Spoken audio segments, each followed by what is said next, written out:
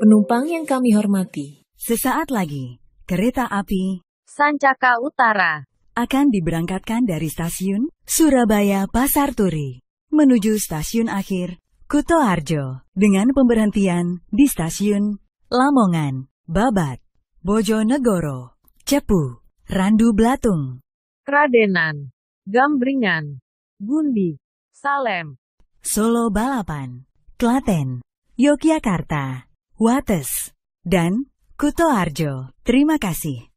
Dear passengers, in a moment, Sancaka Utara. train will depart from Surabaya Pasar Turi to Kuto Arjo, which is the final station. The train will also stop at Lamongan, Babat, Bojonegoro, Cepu, Randu Blatung, Kradenan. Gambringan. Gundi. Salem. Solo Balapan, Klaten, Yogyakarta, Wates, and Kuto Arjo. Thank you.